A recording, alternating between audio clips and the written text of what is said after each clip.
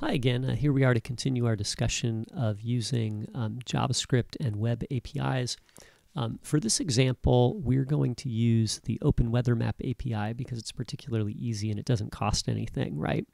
All you need to do is make an account. So let's go take a quick look at the Open Weather Map um, website. So I'm going to go to Open. Actually, here I'll, I'll Google it first. Let's uh, Google and we'll look for Open Weather Map.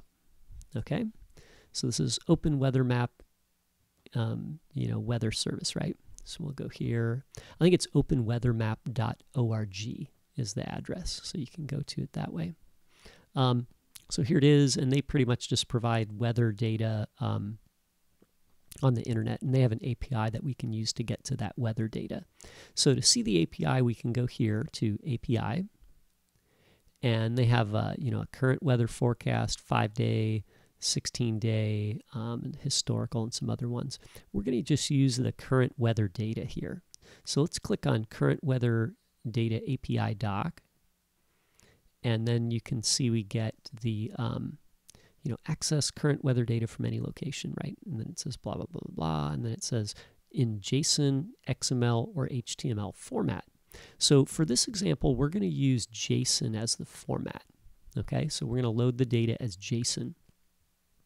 So right below here it says call current weather data for one location and it gives us a, a, sample call that we'll use with their API. So it says you can call by city name or country code, right? Um, and uh, it gives us the sample right here. So the sample API looks like this, right? It says api.openweathermap.org data slash 2.5 weather. And then right here at the question mark this is where we include our query. So it has to say q equals and then the curly brackets right here you're going to replace this with the name of a city. So you could say london or you could say paris or barcelona or tokyo or whatever city you wanted to use. Um, and then open weather map would return to us json data for that city which would be the weather, right? The current weather forecast. Um, this is actually not accurate too because, and they, I don't know why they don't show it here, but you also need to include your API key on the end here. And you can see that these actually fail. Hopefully they're going to fix these one day, but when I see this examples of API call right here, you know, this gives us a sample and we can click on this and you can see it says Q equals London. So we should be seeing the weather for London, but instead we get an error message, right? And it says invalid API key. And that's because we need to actually include the API key on the end and they kind of give us a sample here, but their API key is broken, right? So let me copy the address here and we'll take a look at it. Um, We'll paste it here.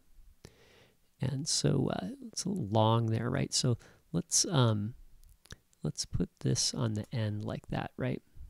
So you can see here um, what it says is it says, uh, let me move that over a little bit there, right? So it says weather, and then it says question mark, or and then Q or for query equals city name London, comma UK. So you can put the the country or the probably the state, like you know San Francisco, California, right?